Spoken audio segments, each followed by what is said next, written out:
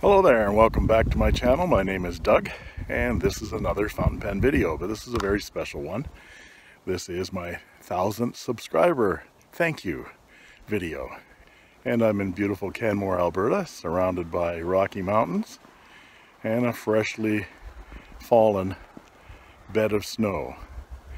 So I thought I'd come out here and thank you for a thousand subscribers. So apparently you folks like watching me will trudge through the snow. Well, this is some footage you haven't seen. This is me going to the mailbox the other day, falling in a snowbank and being rescued by one of our Canadian lifeguards. The mouth-to-mouth -mouth came a little bit later.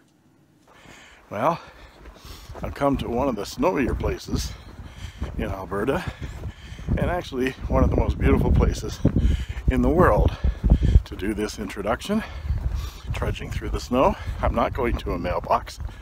I'm going to the middle of a field in the middle of the mountains in Canmore, Alberta. And got a little panorama here. You can see I'm surrounded by mountains and I'm outstanding in my field.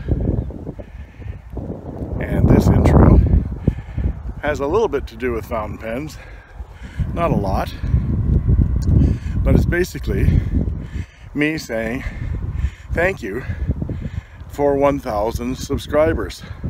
I can't believe it, 1,000.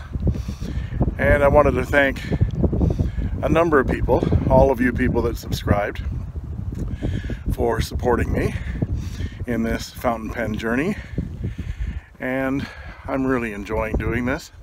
I'm learning a lot and there's a few people that really supported me along the way. Of course, my friend Ron, who uh, loaned me a number of his really excellent pens. I have not gotten through them all yet. I will and return them to him. Also, Bob of Fountain Pen Network, who encouraged me, continues to encourage me to do these kinds of things. And Sam, uh, I'm calling him Sam because he doesn't want to be named.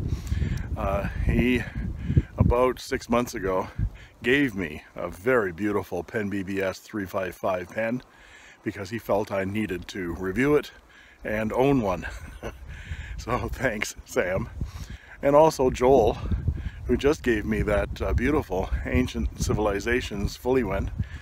Uh, the generosity of this group of people in the fountain pen hobby have just uh, blown me away. You could uh, knock me over with a halibut.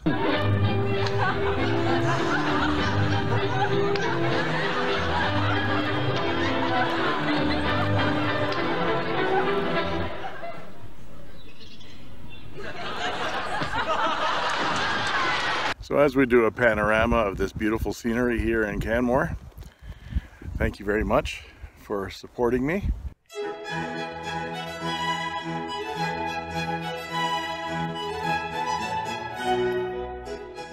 And what better way to say thank you to all of you than to give away a fountain pen to one of my subscribers.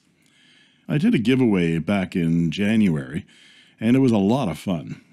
But since it was my first time doing a giveaway, I made a few mistakes. Nervous? Yes.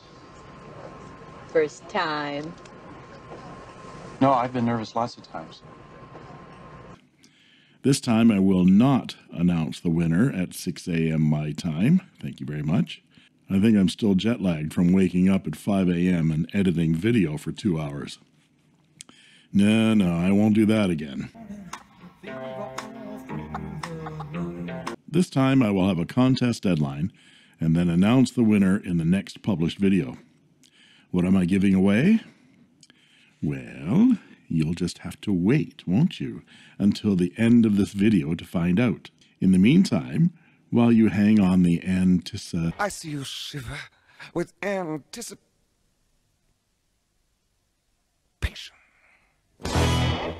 Patient. I want to do a shout out to a few more people to thank, since I neglected them in my brain freeze at Quarry Lake in Canmore the other day.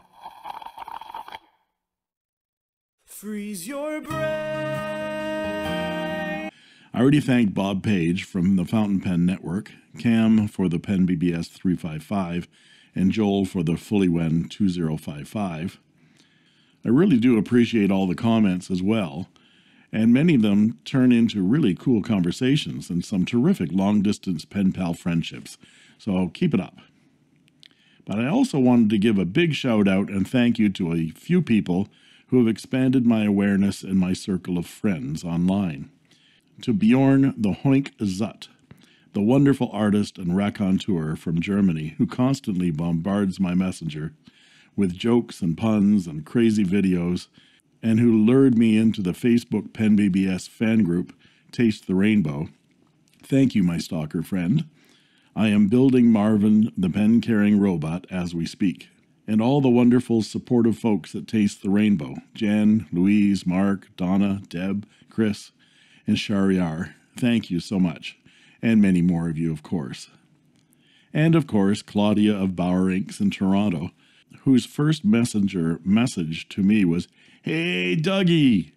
To which I replied, Who is this? At which point she crawled away into a corner. Thanks for your friendship, Claudia, and I look forward to trying out my first KWZ ink. As you are number five, I can't wait. And I've just been schooled by Claudia that it's not KWZ ink, it's Queasy ink. I'm feeling mighty queasy about that. And last but not least, my lovely wife Win, for allowing me to putter around in the basement for hours on end. I wanted to spend a moment letting you know what I've planned for future videos. I've been concerned about the shrinking supply of inexpensive fountain pens to review with all the troubling issues happening in the East, which are restricting travel and transportation. With supplies drying up and me now producing three videos a week on Wednesday, Friday, and Saturday, I was thinking of reducing that to about twice a week, maybe on Wednesdays and Saturdays. That will help stretch my content out a little until China gets a grip on the crisis. The focus of this channel has always been inexpensive fountain pens. They don't have to specifically be Chinese, but I'd say they should be under $50 US, wherever they're from.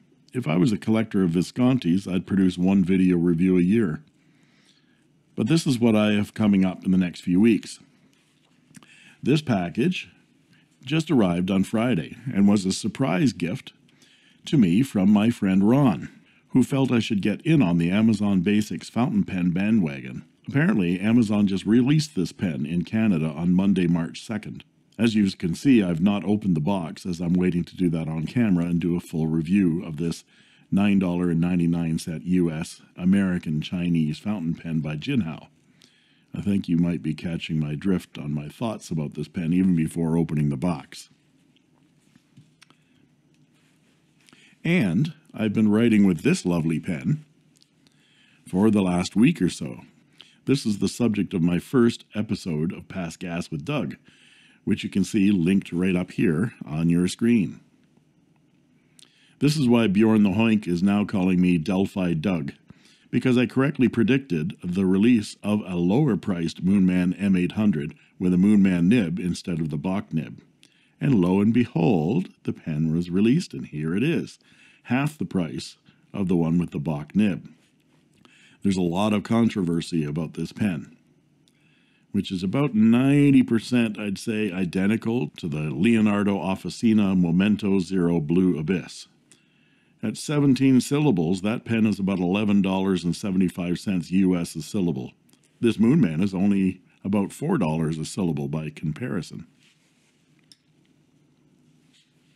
Plus, I have a beautiful Visconti Rembrandt, a Cross Radiance, a Monteverde Impressa, a Parker Classic, and an Alize Gold Nib, as well as some interesting Pass Gas field trips in mind for your virtual shopping pleasure.